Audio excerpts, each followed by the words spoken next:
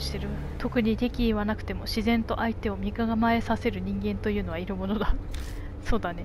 この真下という男はまさにそういう人間のようだ。だって人を貴様呼ばれするからね。そういうのはまあベジータとかそういうのぐらいだよね。ほう。なかなかいいもん思ってるじゃないか。車に乗り込んだ途端無言でバッグをひったくりこちらの所持品検査を始める始末だやだなぁ観察するものつもりなどなかったのに自然ん？自然でいいのか？彼の言動を確認せざるを得ない。調査？でも元刑事なんでしょ？だったら僕たちと同じじゃないですか。後ろの席から司が冷静に突っ込んだ。確かに。無事に帰ってこられてほっとしているのか？声にも元気が戻っている。そうだ貴様らと同じく個人的な調査だ。貴様貴様って。確かめたいことがあったんでな。個人的な調査といえば格好はつくが要は不法侵入だ。その通り。何を調べその前に聞かせろ。ましたこちらの質問を遮りハンドルを握る手首を指さした。それ痛むか？手首についた印を目ざとく見つけたようだ。ああたまに。特に危険な目に遭う時には。ふんなるほどな。マシタさんはあるのかな？マシタは納得した様子でシートに体重を預けた。調べてたのは行方不明者だ。そして唐突に質問に答え始めた。こういうマイペースな人いるよね。いいだろう。失踪者複数名の足取り調査であの学校が浮かんだ。いずれも失踪前に何らかの形で H 小学校に関わっていた。教職員出入りの業者母体の学校法人関係者生徒とその父兄。そいつらを探してた。えということは後部座席にいた司が身を乗り出してきた。僕たちが地下室で見た死体はまさかその人たちの真下は答えようとしなかった。無論という返答だったのか子供を相手にしたくなかったのか。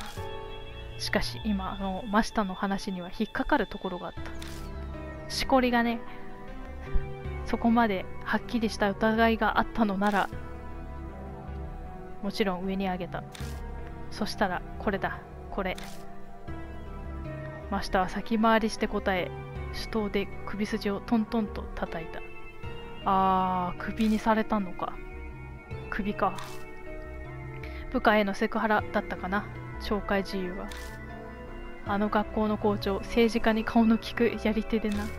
何か痛いところを探っちまったんだろう。そんなつもりさらさらなかったんだが。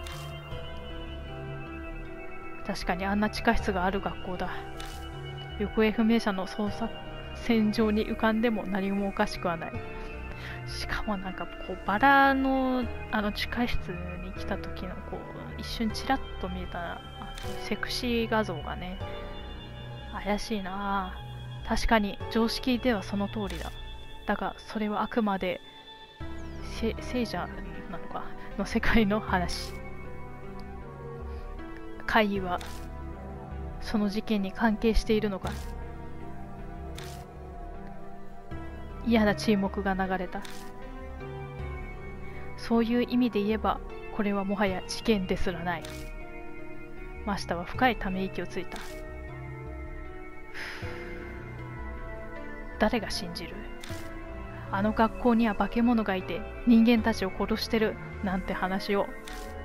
こいつはもう個人的な問題なんだ。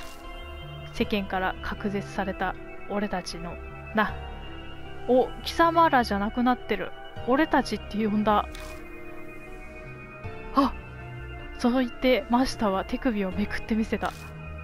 現れたのはあの見慣れた印だった。真下も触れられていたのか。違う違う。やられていたのか。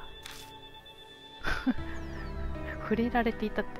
ああその手首を見てすぐ感づいたよ。こいつが問題なんだろうってな。つまり一連卓章ってことだ。勘のいい男だ。帰ったら相談してみるといい。九条館には詳しい。詳しい人と言いかけて中途 まだ触れないでおこう。なんかちょっとしたなんかギャグっぽいのがあるよね。とにかく。帰ったら話を聞いてみればいい。僕も初めはその技のことで九条館に行ったんです。きっと助言をもらえるはずですよ。がましたは司の言葉を鼻先で笑い飛ばした。助けてもらえるか。なめられたもんだなおい。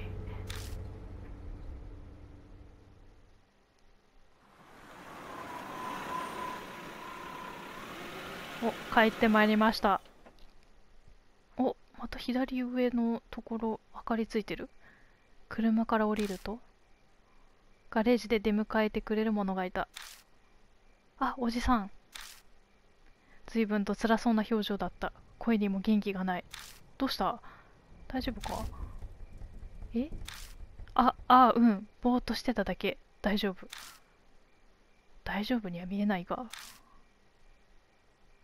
なんだ、まだ他にもいたのか。これで全員だ。そうか、頼もしい仲間だな。ました皮肉に口を歪めた。そうだよね。なんかもう、皮肉がこう顔からにじみ出ちゃってるもんね。真下さん。で、貴様らはこれからも、貴様らになってる。その鍵とやらの調査を続ける気か？他に手がかりがないんだ。仕方ないだろう。意味がわからんな。もし仮に印とやらの原因が怪異だとするなら、原因を排除するのが最善だ。そう思わないか？あー、原因を排除ね。どういう意味だ？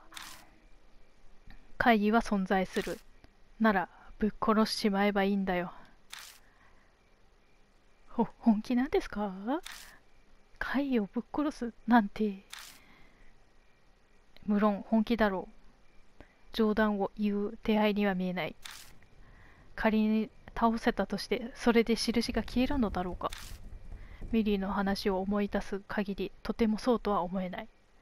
もう殺す殺さないとか生きる死ぬのねこう概念というかそういうのがあるものなんですかね。相手にしてるやつは。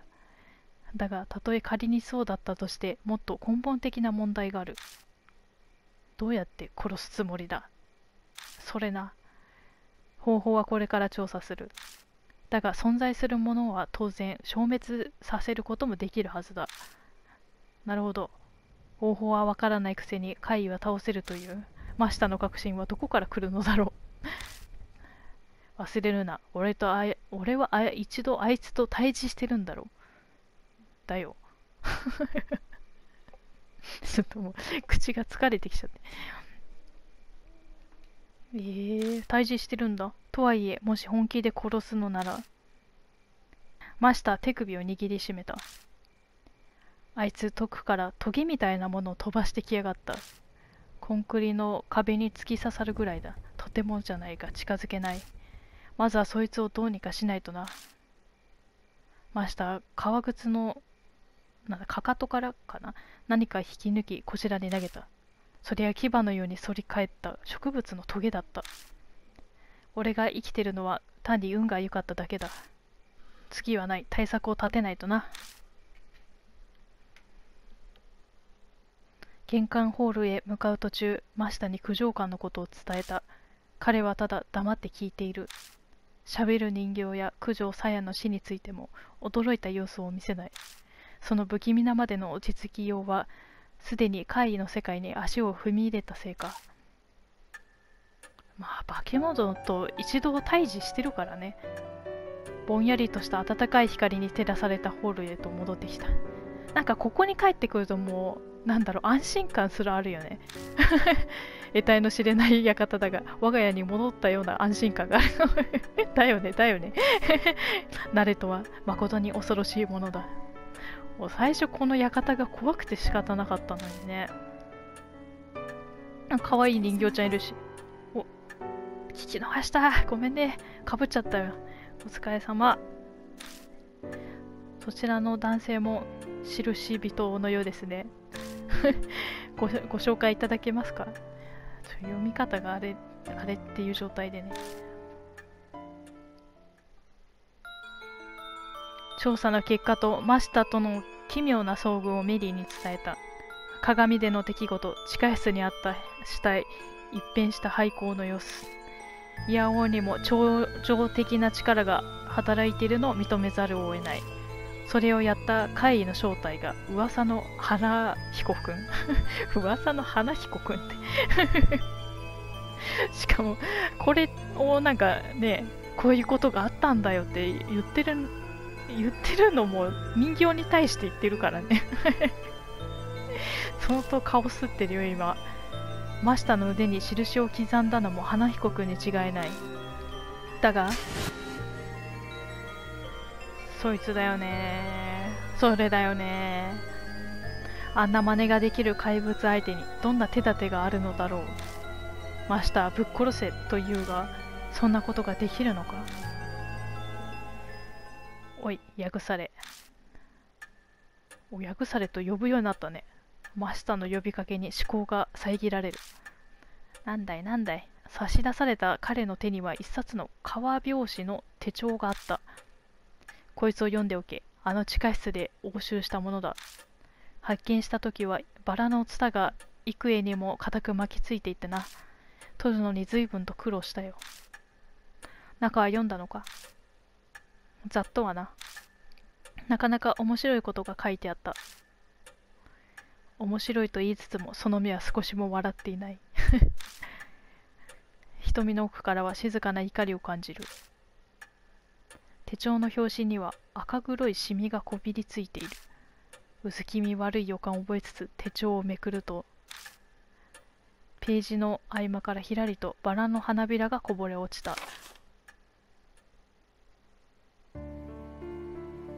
手帳の文章はしっかりしていた。書き手の知性と教養が伝わってくる。読み進めていくうちそれがかつての H 小学校の校長だと分かった。何？神経質そうな細かい文字で記されたその内容は？養子である一人の少年に行った個人指導の記録だった。個人指導？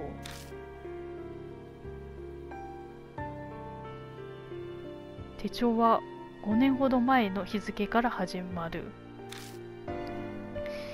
校長が引き取ったその少年は小柄で可愛らしかった。彼はスカートが好きだった。お化粧も好きだった。実際赤いほっぺをした華奢な少年にはそれがよく似合っていた。だが手帳の主である校長にはその趣味が認めがたいものだったらしい。あー。悪癖は幼いうちにただし健やかな精神を、えーと、育まなくてはならない。それが彼の歪んだ歪んだ欲心を隠す個人指導の名目となった。あらららららららら指導の舞台となったのが例の地下室だ。自宅には家族の目があり外だと他人の目がある。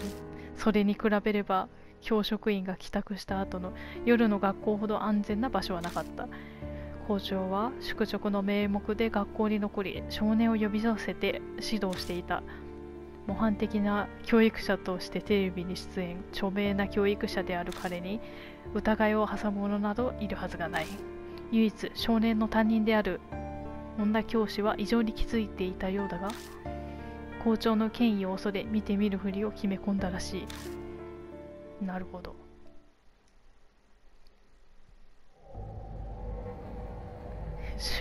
手記は後半に行くにつれて狂気を帯びていく。そこには歪み切った親子の姿があった。もうそれは親子ではないよ。日々の指導で弱っていく我が子。華奢な体は痩せ細っていき赤い頬は黒ずんだ土色へ変わっていく。その様子が克明に記されている。だが敵意や憎しみは感じられない。狂信的な紳士さと教育者としてのなんだこれわからんと体中を舐め回すようなねっとりとした愛情だけがそこにある。この表現その表現がちょっとあれだわ。鳥肌もんだわ。手記の内容は最後のページまでそのような調子だった。校長と少年がどうなったのか手帳からはわからない。だが今の H 小学校のありさまを見ればえっ、ー、と察して知るべきかかな。押してか、うん、おじさん顔色が悪いですよ。何が書いてあったんですか？いやいや司くんには見せられんわ。手帳の少年とその年齢が変わらない司がこちらの顔を覗き込む。子供相手にありのまま話せる内容ではない。要点だけをかいつまんで説明した。ひどい話ですね。大人のエゴの犠牲になるのはいつも僕たち子供ですよ。ちバカな大人って本当に救えないな。この司くんの顔ね。司が毒づきたくなる気持ちもわかる。ヘドが出そうな大人の悪意と犠牲となった哀れな少年。だがそれだけの話だろうか。手帳の少年と花彦君がもし無関係ではないとしたら少年が怪異と化したそんなことがあり得るのか。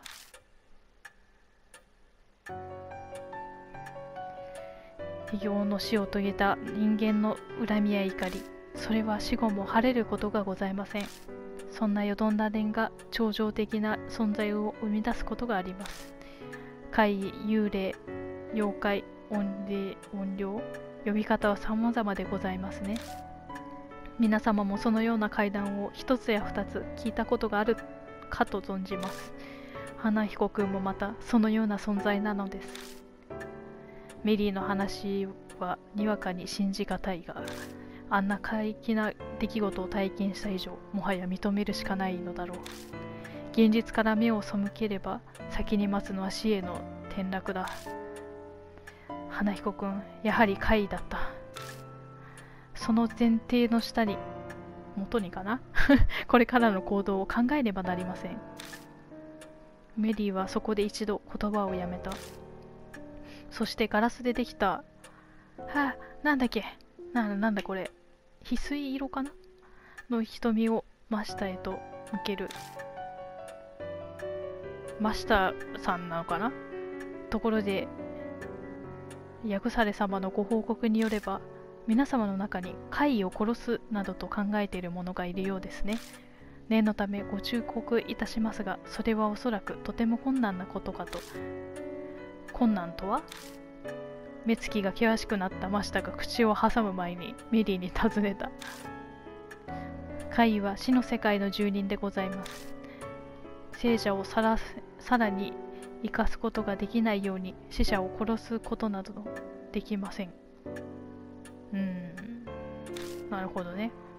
もし皆様にできるとすれば呪われた少年を消滅させることぐらいです。つまりどういう意味だ？以前にお伝えした通りでございます。死と生とは同じ場所にあるもの。もしそこで印が生まれたのだとすればそれをそれを消す術もそこにあるはず。印の呪いを消す鍵。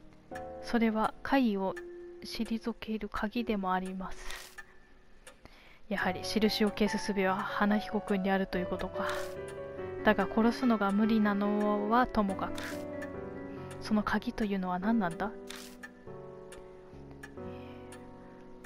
概念的な存在なので私にも分かりませんがただ一つ確かなことがあります。怪異の生まれるきっかけとなった土地は怪異と特別な縁で結ばれています。そこにあるものであれば鍵の役割を果たすかもしれません。皆様には理解しがたいでしょうがそれが怪異というものなのです。鍵となるものを見極められるかどうか。それがあなた方の運命を分けるでしょう。やはり H 小学校の調査を続けるしかないようだ。あれかもう当当分というかずっと H 小学校の調査なんだね。この感じ。怪異の呪われた少年怨念を消す鍵それが何を示すかわからないが鍵を集め正しい方法で怨念を消すことそれしか本来生き残る道はないのです。時には怪異が畏怖や嫌悪を抱く者を用いる非常さも必要となりましょう。うーん。怪異を退ける術は怪異の怨念の中にある。どうかそのことを忘れなく。ではくれぐれもお気をつけて。ありがとう。地下室の秘密。はいはいはいはいはい。というわけでまたこれは 小学校に行かなきゃいけないっていう展開っぽいですね。